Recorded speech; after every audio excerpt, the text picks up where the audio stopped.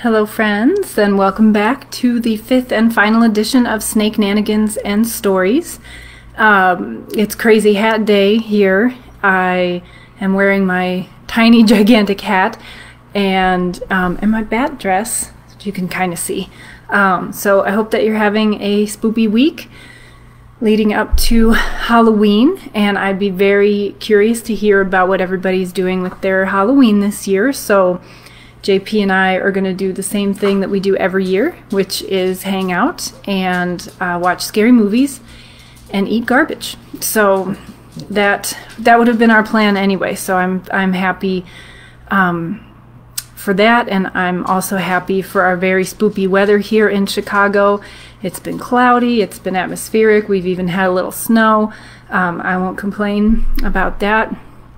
So I hope everybody is doing well and welcome if you're just joining me now um, to the fifth and final edition of Snakenanigans and Stories. So I'm going to get right into it because I have a special lineup tonight of Halloween themed everything. Hello, Brenda.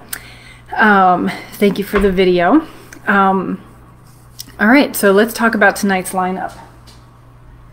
Oh boy, oh boy.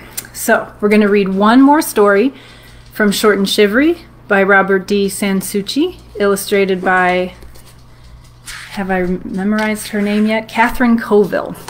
I did not. We're going to read one more story from the Scary Stories series, Alvin Schwartz, illustrated by Stephen Gammell. Then we're going to read from a book that we have not read from at all yet or during Spooky Story Tuesdays this spring, and that's going to be Our Haunted Lives by Jeff Belanger, and that's going to be a really cool story about the Farnsworth House in Gettysburg, which is one of my favorite haunted places that I've also stayed at before. All right, and then I have two special Halloween poems that I'm going to read. One is going to be by Henry Wadsworth Longfellow, and it's going to be pretty profound and intense and very um, atmospheric, and then we will end with um, with Five Little Pumpkins, which I think is one of everybody's favorite um, Halloween poems for for kids and for adults alike. So, I shall also share my current reading. I have to hurry up and finish Eragon, which I'm still reading and have been reading for an eternity. Um, and I have a huge growing pile of books now that I'm going to be working on through probably through the fall and winter. Um, that's Eragon by Christopher Paolini. I just I forgot to say his name. Um, huge pile of books that I'll be working on through the winter, coming in for the Society of Midland Authors Midland Author Award. So I'm judging in the children's fiction category, and I have more books uh, that have been added to my stack of books. Um, I'll just show them to you and goats need closure. So some really fun titles. So All He Knew by Helen Frost. Even Goats Need Closure by Jane Donovan and Holly Trechter. Please Don't Say an X Word by W. Nikola-Lisa. And Libby, Lytton, and the End of the Winding Path by C.R. comma. And so, uh, and there's more on the way, and I just got a few today that I have not yet unpacked. So I'm really going to have my hands full, and I'm really excited to devour these fun books. So, of course, I have a very special guest tonight. That special guest is going to be Pepper, our Hog Island boa, who is waiting in, you know, waiting in the trenches for for me to um, to grab a hold of him, I guess. Um, but before I do that and get my hands full, hi Ron, hi Ronald, how are you? Let's do spooky talk before I, you know, get too deep down in it. So, as you all know, spooky talk. oh, Allison, I'll get to that part. She says, show us your snakes. That's what everybody wants to see, right? Um, so let's do the spooky talk part first so that I don't get 30 minutes into it and then remember spooky talk. So I'm going to pick one card at random and then everybody is on the hook for an incredibly creative and thoughtful response. Or not. You can talk amongst yourselves and play along however you like. So I'm going to pick this one. Ooh. Ooh, this is interesting. All right. The other spooky talk cards have been kind of on point with our theme here, but this one is a little bit different. This one is about levitation. Levitation is a type of psychokinesis practiced by psychic mediums, shamans, and wizards. Using only the power of the mind, people and objects are lifted up and suspended in the air. Some people under demonic possession are also levitated. So the spooky talk question is what other things happen to people who are possessed? And don't say they wear silly hats. All right. I am ready for Pepper. Jonathan's special cameo. He's not in a dragon costume tonight. Hi, buddy. Pepper. So this is our gorgeous boy. Hi, buddy. Oh, yes. Who likes Jonathan way more than he likes me because I'm a nervous Nelly. Dear. Hi, Spoopy Head. Look at this guy. This is Pepper. He is our gorgeous, gorgeous Hog Island boa. And I took a bunch of notes on him like I always do with everybody. He's just looking for a place to climb here. Oh, you can't see his head was sticking straight up. So he's our little our little special needs guy. Um, I think I mentioned that during Spooky Story Tuesdays this spring that he may be the product of some uh, some inbreeding, and his eyes are set a, apart a little bit differently from each other, and he um, he's a little bit moodier than the average bear. Um, or at least he used to be, but he's not really anymore. Like he's really chilled out a lot.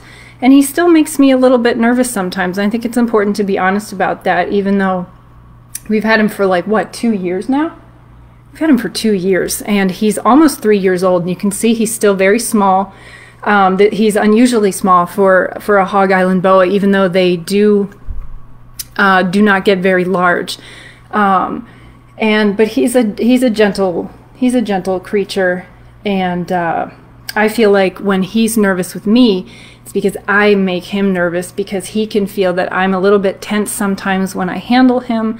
Uh, and actually, it's interesting looking at him right now. One of his pupils is dilated and the other one is not. So I don't know if that is normal for snakes or if it's just our boy. One of his eyes is, of course, looking towards the light and the other one is not. So I don't know. I just wonder. But he's fine. He's totally cool but he's our only little Sneckum, and he's the smallest one. I mean, Moonlight's pretty small. Uh, and uh, he still makes me a little nervous sometimes. So, Hog Island boas are super special boas, and if you have any questions, please do let me know throughout. Um, and let me try to do an up close there with his beautiful face. Come, look at the look at the camera. Oh, and my armpits again. The true horror of Halloween is me trying to block my armpits from the view of the camera. There we go. Um, their scientific name, which I screwed up the last time, is Boa constrictor imperator. They do not have a special scientific name that is different from common boas. They are not considered their own special subspecies. They're just considered to be a morph of common boas. Hog Island boas are so named because they come from the Hog Islands of Honduras which is a small chain of like 37 islands. Um, or no, it's a small chain of islands 37 square miles off the coast of Honduras. And they were isolated from the regular boa population, and so they grew to um, appear differently and have different types of behaviors than other boas that live on the mainland in Central America and in Honduras. So, the wild population is extremely low because they were collected almost to extinction in the 1980s. Um, his great grandparents probably would have been some of the original inhabitants of the island that were probably collected sometime in the 80s. And this particular snake was bought from Vince Russo, who is um, like a big name in the boa world, in the bro in the boa breeding world, and the population was brought back from the brink of extinction by people who have been captive breeding them. So they're pretty common now in the pet trade, um, but they're just starting to reintroduce them, or they're just, I think, getting back on their feet in the wild populations. Um, the females tend to get five or six feet long, and the males tend to get about four or five feet long. So he is a boy to our knowledge. Look at how beautiful he is and speckled. His head is, of course, facing away from the camera. Um, and he, I would say, is about, he might be two or three feet long, but he's pretty small. Um, and so we feed him regularly. It may be that this is just how he's going to grow, just very slowly, um, or we, we may see a growth spurt yet. So um, they have what is referred to as insular dwarfism, which um, is what I was referring to earlier, talking about how they're isolated away from the other snake populations on the islands there, where they have no natural predators and they don't need to grow as big. Um, and they don't need to be as scary. And they're often, or they were often seen um, kind of lounging out in the open and not being very secretive sneckums. And they're also, uh, also naturally hypomelanistic. So, whoops, I keep got to lift him up even higher. So you can see that um, if you know about like natural looking boas, they have those beautiful gray and black and red patterns and the saddles um, are absolutely gorgeous. And these guys have a bit more of a um, muted or washed out kind of tan tone to them, which is quite gorgeous. And then his tail, oh, there he is. Hello, spoopy face. Oh, he's coming right at you. All right, cool. Um, his tail has a lot of pink on it, like this gorgeous salmon pink. And his saddles back here are beautiful red color. So you can see that, but they are muted from what the natural coloring of the common boa would be.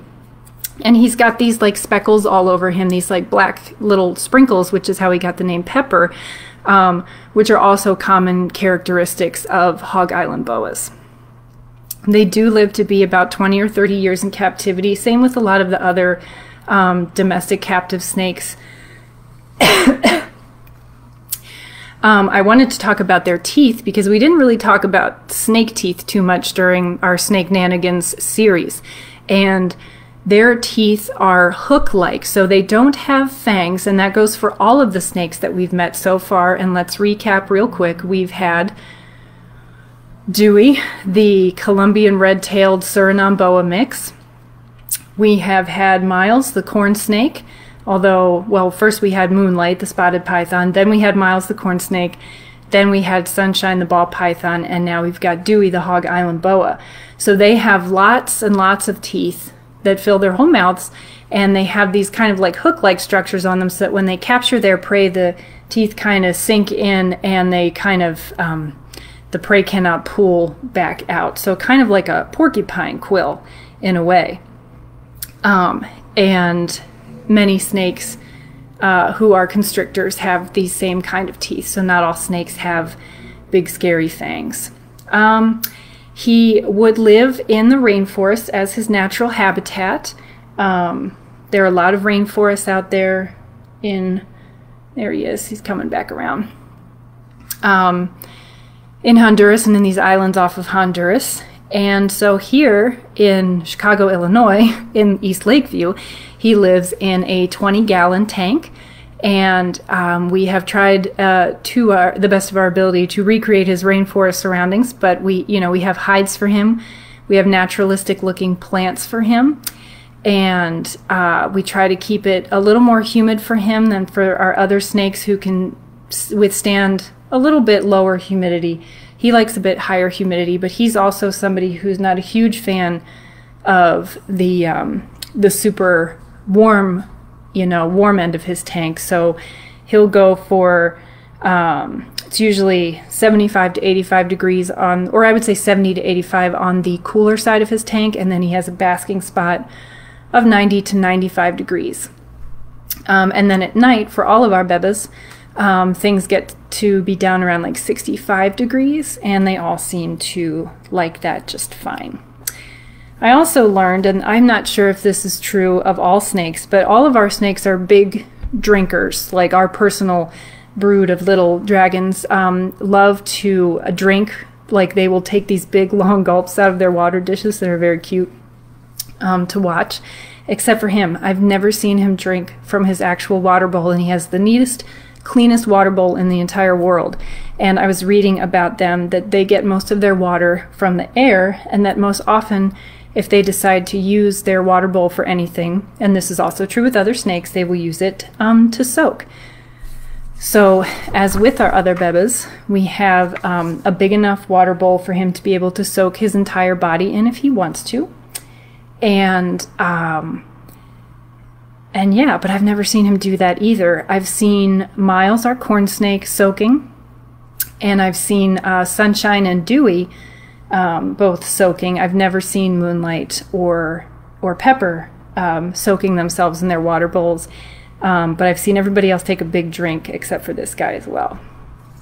In the wild, um, they would primarily eat birds. That would be a big staple of their diet. Um, but here in Chicago, again in East Lakeview, this poor little guy is stuck with what he can get, which in this case is frozen thawed adult mice, which he receives once every 10 days or so with the rest of our critters who are also fed on like a 10 to 14 day cycle, depending on how big the prey is. All right, I mentioned that they have no natural predators, and I mentioned that he was bought, so he is adopted. We adopted him through the adoptions program at the Chicago Herpetological Society, as with our other bebas. Um, he came with a sibling, so he has a sister. And I think so. We had him sexed, but he was a little bit too young, so we think that he's the boy and that she's the girl, and it kind of makes sense because he's still a little small, and I think she's grown a bit. Um, but in any case, uh, he had a sister with him, and those siblings were bought together from like um, like a reptile expo, and uh, we ended up being able to adopt him. And I really wanted to have a little boa, and then we brought him home, and he was nippy, and it made me scared. so um, it was kind of funny. Um, he would just sort of like lash out at the air, um, not even with his mouth open, but he would hiss and puff and had all sorts of interesting, strange behaviors that I wasn't used to seeing. I had seen Miles hissing and puffing before, but he was not quite as intimidating, whereas this guy would like strike out while he was still in my hand. Um, and that was a little disconcerting, but never striking toward us. He accidentally bit Jonathan once during a feeding which was our fault because um, he just missed. He just missed the mouse and accidentally got Jonathan's um, hand, and apparently it really wasn't that bad. My fear, if I ever was to be bitten by one of our snakes, is not that it would hurt, it's that I would have even more fear around handling them or being with them, and that it would damage my relationship with them, and I would never want something like that to happen and I would never want them to be traumatized by something like that. If you do have a pet snake and they do bite you, the most important thing is not to panic and it's not to like rip your hand away. Uh, they will learn uh, that if they bite or if they act like they're going to bite, that it does intimidate you and you will put them down. So if you need to handle them for any reason and you want to maintain like a, a good relationship with them, you have to show them that you're not afraid. So that kind of stinks, but it's par for the course. So, so far so good with this guy. He's chilled out a lot. It's not uncommon at all for little tiny baby boas to be super temperamental and nervous. Um, and then they chill out as they get older, which is absolutely true of this guy. He has just been such a love. And uh, yeah, we just adore him. And he's another one that is a, he's always a crowd favorite. Everybody thinks he's so beautiful. He's got those skeptical eyes. He's like judging, judging me right now. You can see it in his face. Um, he still has that, he's that cute, kind of like a, uh, the echoes of a cute little mustache, like how Dewey had that perfect triangular black mustache. And then, of course, he's got this gorgeous tail. And he's just a lot of fun and we love him. So, does anybody have any questions about Pepper or Hog Island boas or snakes in general before we start the scary stories and wrap up our edition of the, the Snakenanigans portion, I should say?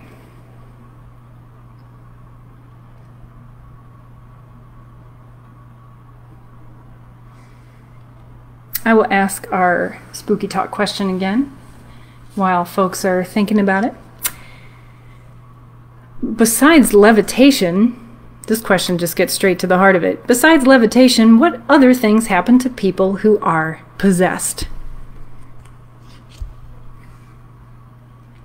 Pepper, do you have any thoughts on that? I don't know if he does. All right. Well, I'm ready to get to the scary storytelling if you are.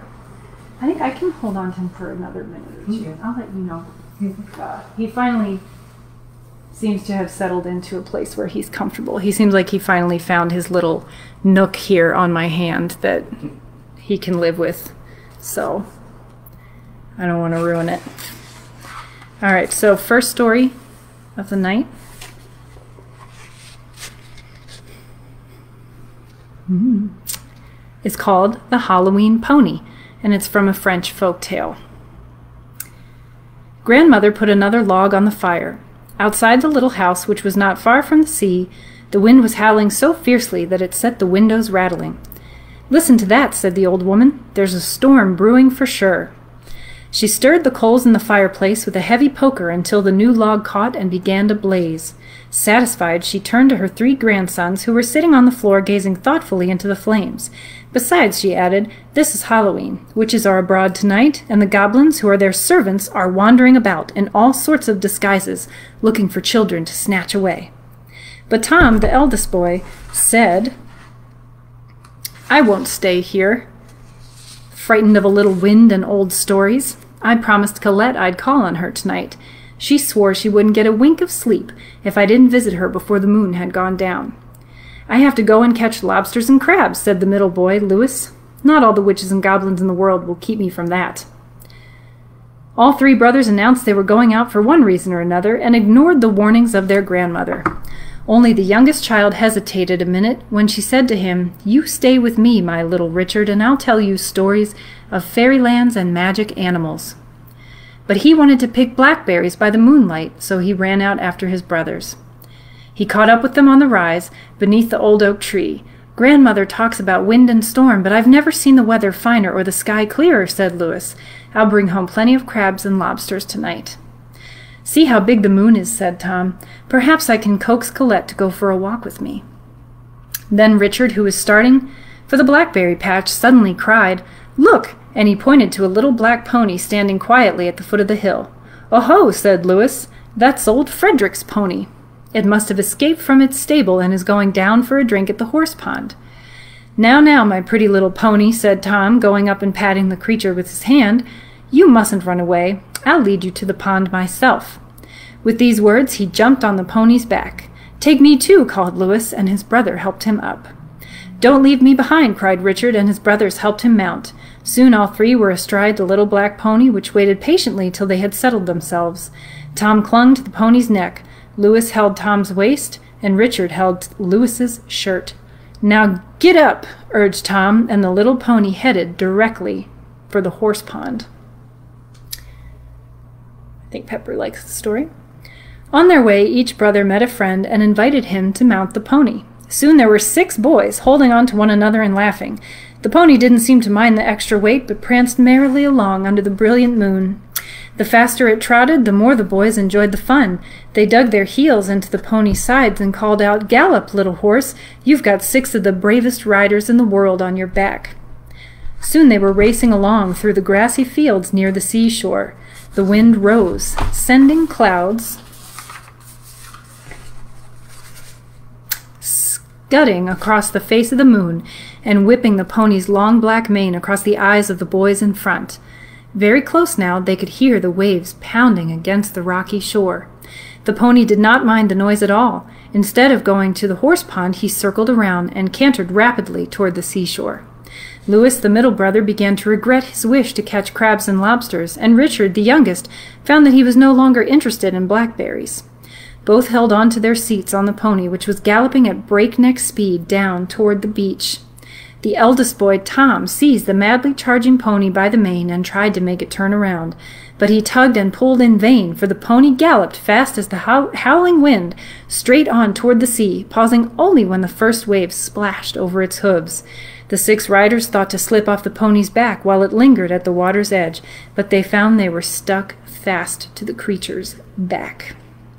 Then, rearing up once, the little black pony neighed loudly, ran back and forth through the sea foam gleefully, and suddenly charged into the billowing waves while its riders cried out in terror.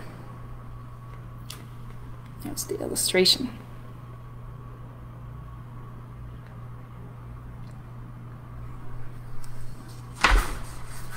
Bear with me. The pony is bewitched, wailed Tom. We should have listened to grandmother's warning. The pony advanced farther and farther into the sea. The waves rose higher and higher until they covered the children's heads and the pony vanished beneath the swells. Some say the children were drowned. Some say the goblin pony carried them to a strange city of coral and pearl at the bottom of the sea.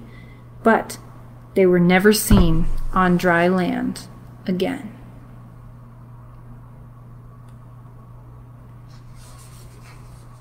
And that was The Halloween Pony from a French folk tale from the book Short and Shivery 30 Chilling Tales, retold by Robert D. San Souci and illustrated by Teresa Katherine Coville. My heavens, Katherine Coville. Beautiful. He's so beautiful. Anybody have any questions? There's Pepper, chilling out, listening to spooky stories. Any questions about snakes or Pepper or Hog Island boas, put them in the comments. And if you'd like to answer tonight's weird spooky talk question about levitation, what other things happen to people who are possessed besides levitating, then by all means, please um, feel free to respond. So I know of one, which is that people speak in ancient or foreign languages that they wouldn't have any knowledge of otherwise. Oh boy. So, next story is going to be from Scary Stories 3 More Tales to Chill Your Bones from Alvin Schwartz and illustrated brilliantly by Stephen Gammell. And I'm trying to do this with one hand. There we go. I think I've shared just about all, you know, all of the stories in these books um, throughout our time together in, you know, in the springtime and now. And I did find one more that has um, another one of the illustrations that really, really gave me nightmares as a kid that I still um, think about sometimes. And that story is called Is Something Wrong? A car broke down late at night way out in the country. The driver remembered passing an empty house a few minutes earlier. I'll stay there, he thought. At least I'll get some sleep. He found some wood in the corner of the living room and made a fire in the fireplace. He covered himself with his coat and slept. Toward morning, the fire went out, and the cold awakened him. It'll be light soon, he thought. Then I'll go for help. He closed his eyes again, but before he could doze off, there was a terrible crash. Something big and heavy had fallen out of the chimney. It lay on the floor for a minute. Then it stood up and stared down at him. The man took one look and started running. He had never seen anything so horrible in his life. He paused just long enough to jump through a window. Then he ran and ran and ran and ran until he thought his lungs would burst. As he stood in the road panting, trying to catch his breath, he felt something tap him on the shoulder. He turned and found himself staring into two big, bloody eyes in a grinning skull. It was that horrible thing. Pardon me, it said. Is something wrong? And here's the illustration. If I can get the angle right. There we go. This is like us and 2020, right? There's the illustration. All right. So I also just realized that, whew, Allison answered the question about um, what people do when they are possessed, and she answered with vomiting. So we have levitating, vomiting, speaking in tongues. JP, do you know what people do when they're possessed? Um, I think that's all been covered.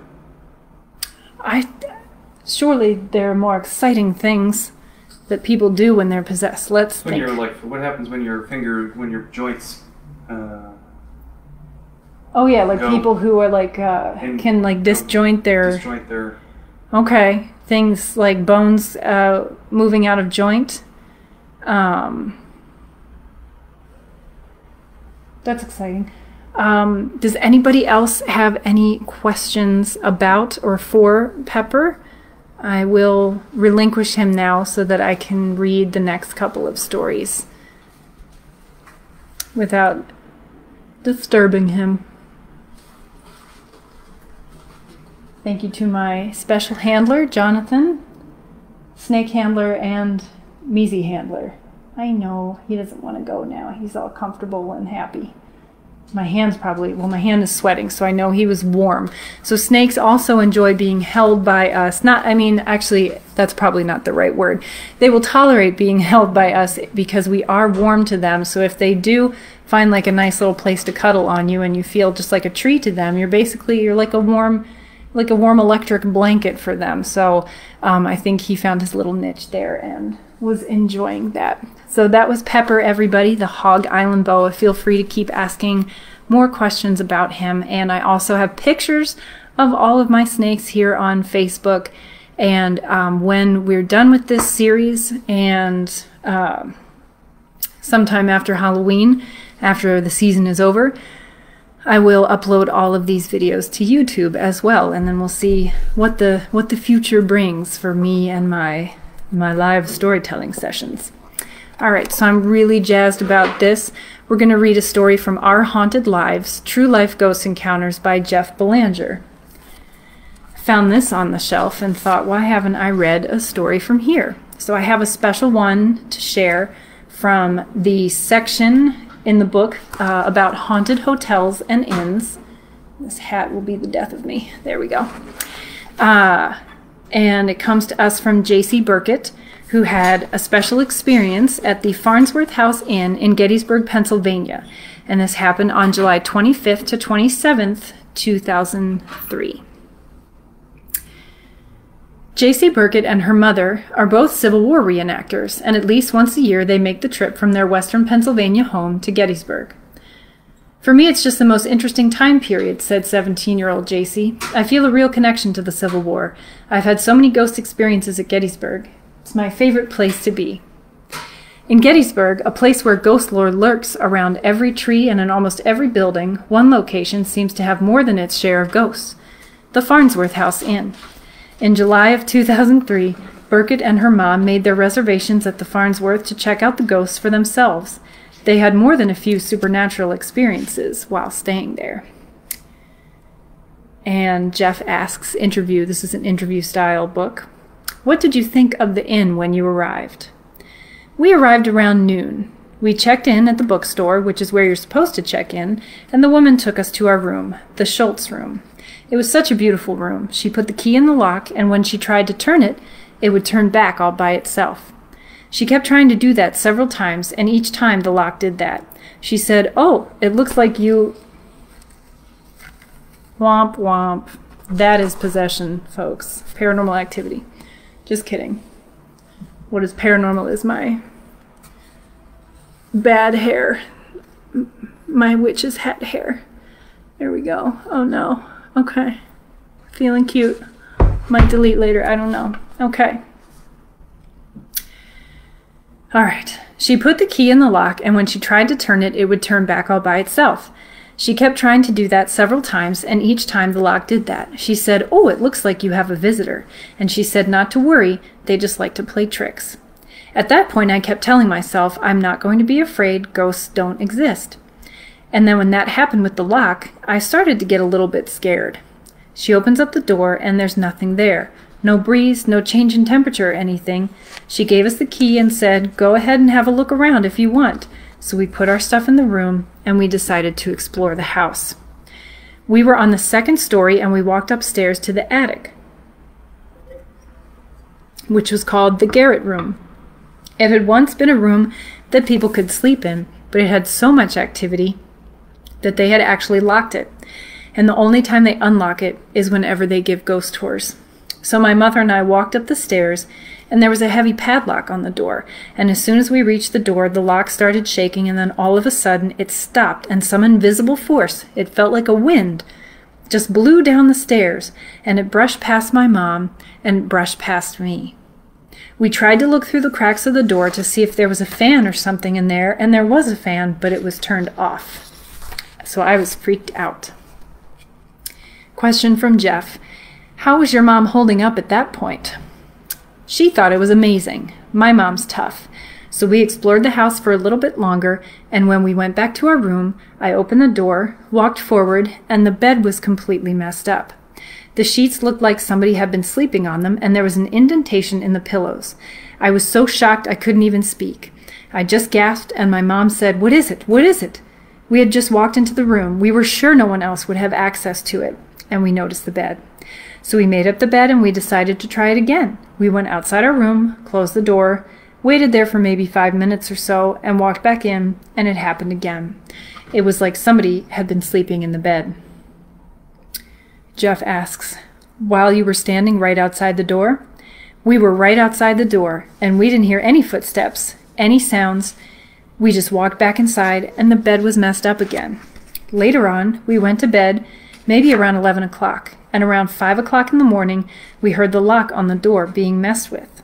Our first thought was that somebody's trying to get into the room, so we sat up and just looked at the door. The door unlocked. It was a deadbolt, and it unlocked, and the door opened up slowly, all by itself. We looked out into the hall, but there was nobody there. No shadows or anything. And then the door closed again, and it locked all by itself. My mom and I were like, this is amazing. And Jeff asks, That was the main door to your room? The main door and the only door. Earlier that night, my mom had moved several cat statues. They were the ugliest statues.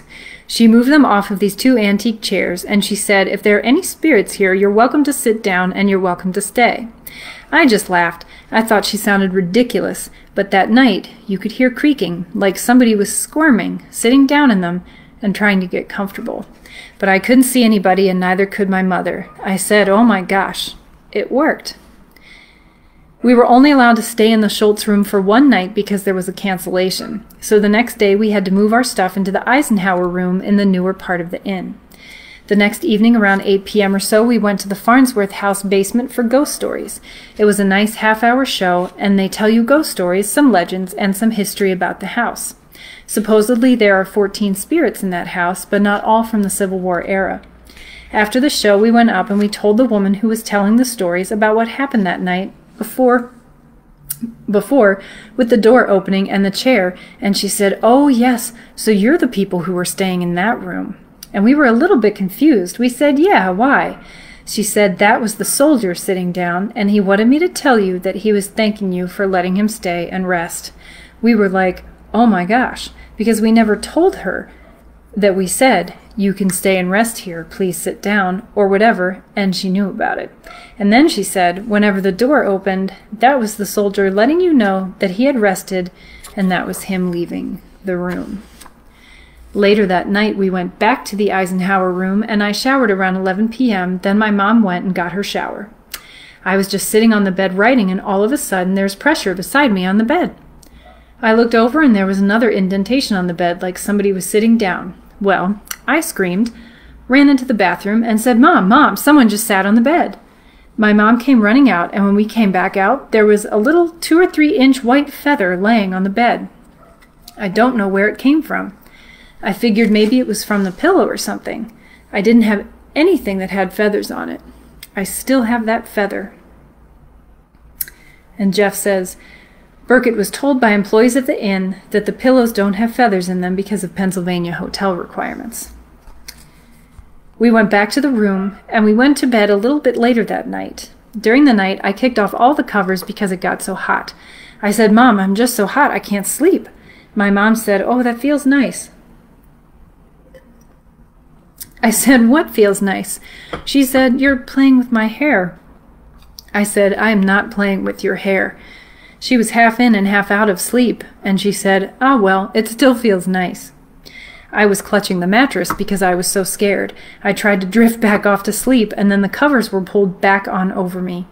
I take them off again, and I said, Stop it, but my mom didn't reply. I just tried to fall asleep, and again the covers were pulled over me, and someone pinched my arm. I kicked them off, and I got kind of snippy with my mom. I said, Mom, stop covering me. I'm too hot. She said, I didn't cover you up. I'm trying to sleep here. I was terrified. And the pinches felt like someone was trying to make the point, like, Stop, this is for your own good. We went back to sleep, and I decided to keep the covers on and hold them, hold on to them for dear life. Several hours later, my mom wakes me up. She's pushing me and she goes, Mary, Mary, JC, there's Mary. Mary was one of the spirits who was a midwife at the house. I said, Where is she? I don't see her. My mom is pointing frantically, going, Right there. She's right there. How can you not see her? And I said, Well, I just, I can't see her. I don't know. I was looking and my mom was pointing around the room like Mary was moving. And then my mom pointed to the wall like she just went through the wall. I said, Is she still there? And my mom said, No. She just went through the wall, but I could see her face. She had wrinkles, and her hair was braided. I could see the collar of her dress, but I couldn't see anything past her torso. I figured maybe Mary realized me being a kid that I would be scared, and she could only appear to certain people, and she didn't want to scare me. I thought that weekend was so amazing, and ever since we've been going back to the Farnsworth every year. And Jeff asks, have you had any experiences since? Oh, yes, definitely. There's been reports of two spirit children in the inn. On another trip to the Farnsworth, my mom and I were very tired and we went to bed maybe around 10 o'clock. Several minutes later, we started hearing kids running up and down the stairs and back and forth in the hall. We said, you know, if they don't stop within the next five minutes, we're going to get up and ask them to please be quiet or go to bed, tell their parents, or something. So the running went on and on and on. They'd run down the hall, run back to where our door was, and then the sound stopped outside our door. And you'd hear giggles, and then they started running down the stairs. Then the running would start from a different place. They wouldn't be coming from downstairs, they'd be coming from upstairs and running back to our room and then back downstairs. We had had enough. My mom went and she waited by the door, ready to open it up the next time the kids came over. Whenever they ran past, you did see shadows. You could see the shadows at the bottom of the door. So my mom waited until she could hear them coming again, and when they were coming down the hall, she opened up the door, but there was no one there. No shadows, nothing. It was freaky. And the note from Jeff is JC and her mom have gone back to the Farnsworth each year. They have since brought recording equipment and cameras, turning their stay into a bit of a ghost hunt as well. So that was the Farnsworth House Inn in Gettysburg, Pennsylvania, from Our Haunted Lives True Life Ghost Encounters by Jeff Belanger. Let's check in with spooky talk. Levitation is tonight's theme. Um, I suppose possession is really tonight's theme.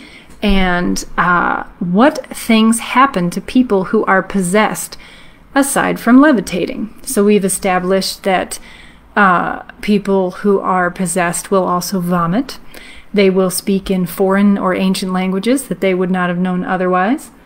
Um, they will be able to uh, their dis what would be what would the term be disjoint their their bones something along those lines. They'll have unnatural movements. Is it genuflect? Genuflecting, oh, that's a good one. JP mentioned uh, genuflecting repeatedly, so that is when you drop to your knees as if in prayer. Um, but the repeated genuflecting that will happen so quickly, it would be physically impossible for like a regular person to do. And uh, I don't know. I'm turning it over to you, folks out there. Uh, to help me answer that. And if you have any other questions about Hog Island boas or pepper or snakes in general, feel free to ask. I have two more special things to share with you. One is a poem uh, to carry us through uh, the rest of Halloween and spooky season before uh, heaven knows what awaits us in, in November and beyond. And this poem is called Haunted Houses. All houses wherein men have lived and died are haunted houses. Through the open doors, the harmless phantoms on their errands glide, with feet that make no sound upon the floors.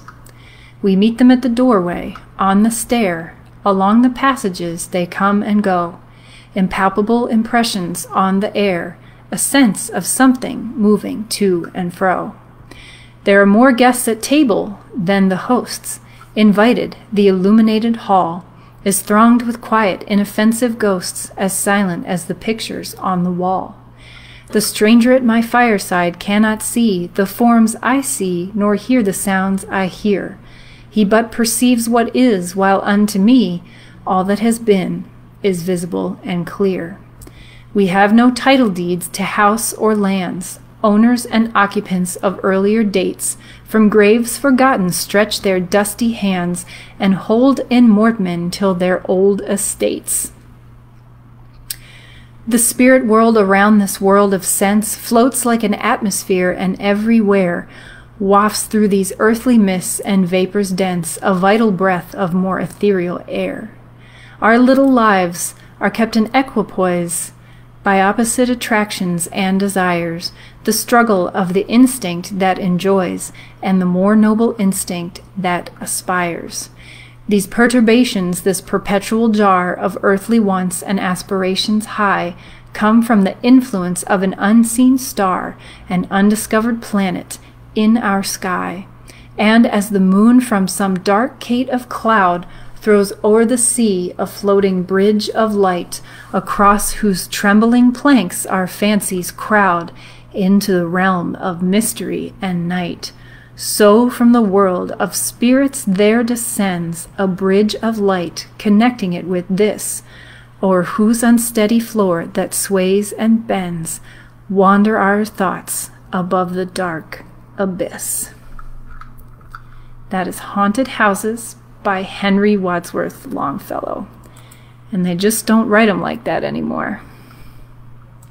Amazing. All right. And my last little poem that I would like to share with everybody is a little bit more uh, light-hearted than that. And so if you're home and you know this one, you can uh, chant along with me if you want to, but it's going to be called um, Five Little Pumpkins. And I'm sure we've, you know, we've all heard this at one time or another. And I, um, this one does not list the author. JP, do you mind looking up the author of Five Little Pumpkins? Sure. Thank you. All right, ready? Five little pumpkins sitting on a gate. The first one said, Oh my, it's getting late. The second one said, There are witches in the air. The third one said, I don't care. The fourth one said, Let's run and run and run. The fifth one said, It's Halloween fun. Then ooh went the wind, and out went the lights, and the five little pumpkins rolled out of sight. So I'm going to read that one more time. Did you find the author? It's a song. Is it a song? It's a yeah, it's it's a poem. Um, and then it's been covered by some bands. Oh my, I have a ton of comments too, and I simply did not uh, scroll down. Excellent. Let me catch up with these. Brenda says, spitting out pea soup, indeed, and head spinning, also uh, products of possession. Ron mentions speaking other languages. Afterborough asks, Isn't Pepper the one that bit Jonathan when he was feeding him? Yes, thank you for remembering. That was an unfortunate uh, occurrence in which Pepper flew through the air like a magical being uh, after he missed the mouse and missed, you know, went straight past the tongs. So we feed them with tongs. We don't like dangle the mouse or anything. Went past the tongs, got Jonathan on the hand. Jonathan pulled his hand back in surprise, launching Pepper across the room while I was uh, having my banjo lesson on Zoom. So I had to pause everything. Nobody, it all happened behind the camera, but I'm sure everybody in my class saw me go like this. and then I had to pause and pretend like something normal was happening, uh, and then not try to have to explain to people um, how weird our lives are.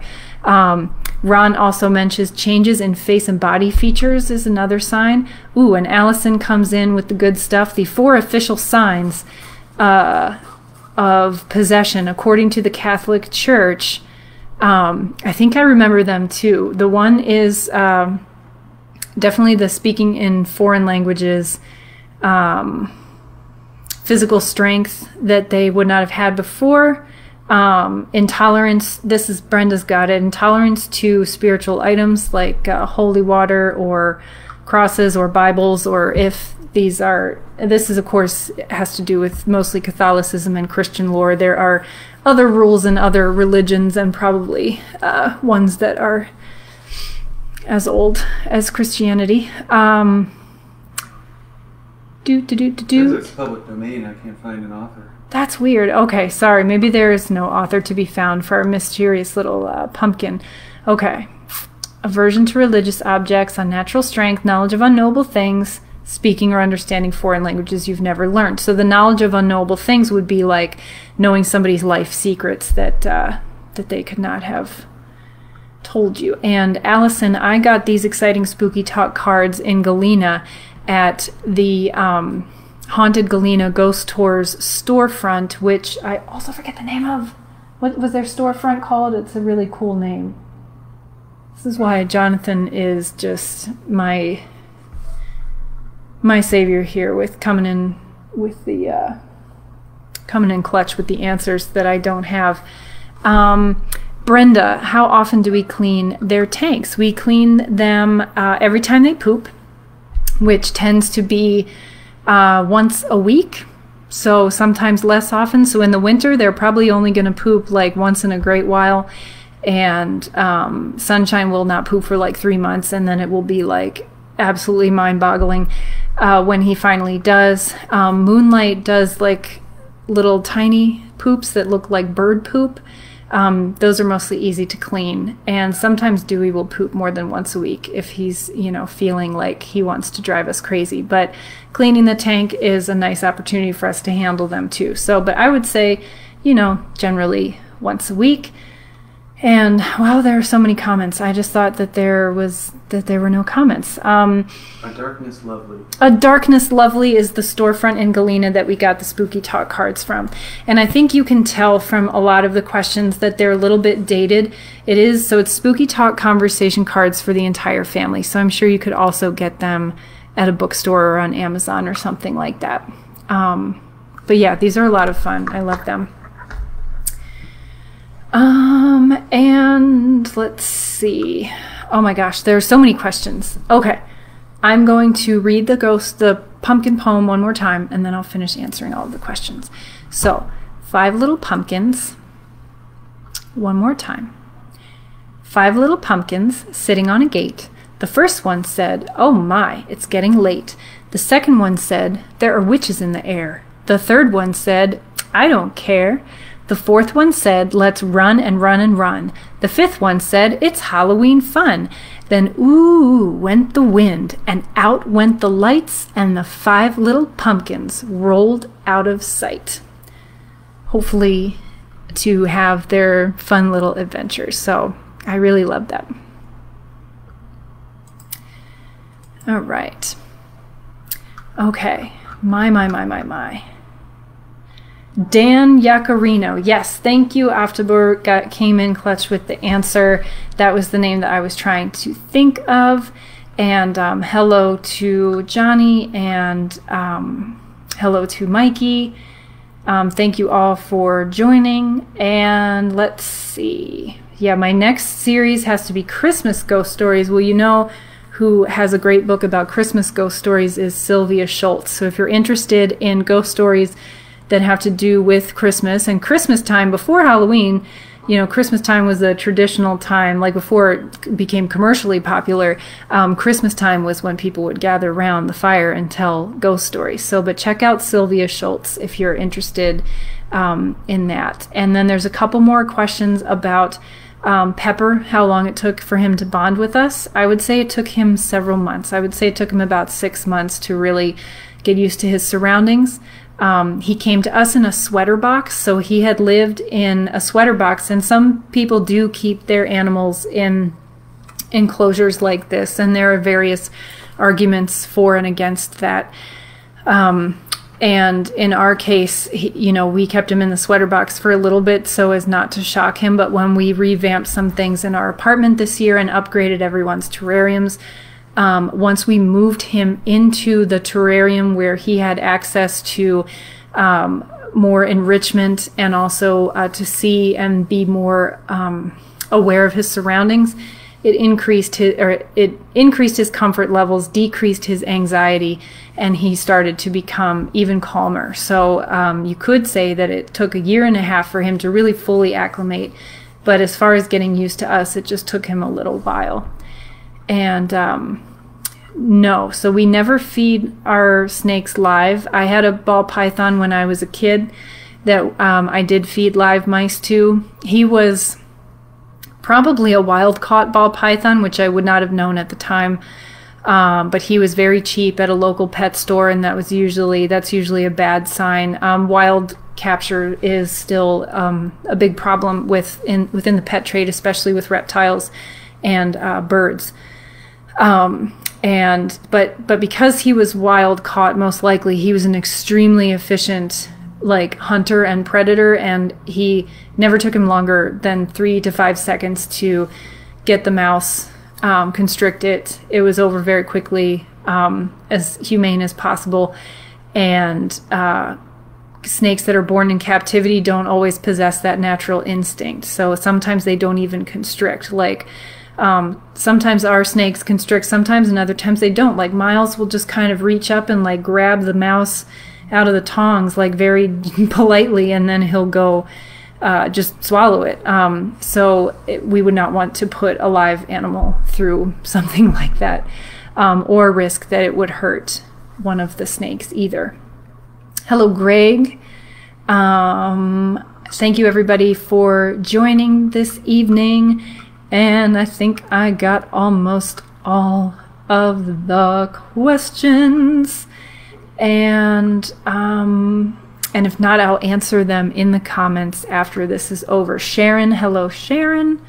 Uh, I don't want to miss a shout out for anybody else. So I do want to thank everybody again. We're almost at an hour here for joining me today um, and for talking all this weird talk about possession. Who knew?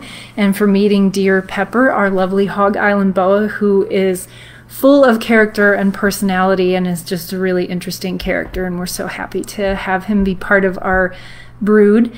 And I hope that everybody um, learns something, even if it's nuts, not a fun fact that you'll ever use again. Um, learned something or felt inspired by this, um, and that at least we had a nice little spoopy time together. Um, I definitely encourage people to adopt, don't shop when it comes to all animals, for us to take care of the world around us and to take care of each other, and uh, hopefully have a happy Halloween. And we'll see what comes next. And what's next for me personally is working on this manuscript about the old Baraboo Inn, um, judging the competition this winter um, for the Society of Midland Authors I have also been working on just other projects. Jonathan and I will be launching some of our own, you know, homemade incense products and things like that this winter. And I should finally have a website or at least links where you can buy copies of my signed books without having to go through 30 steps of like emailing me and all this kind of stuff. And and we'll see what else, um, of course, the future may bring. So again, thank you all. Hello, Dan. Um, and thank you all for joining me. And I will sign off for now. And I wish you all a very happy Halloween.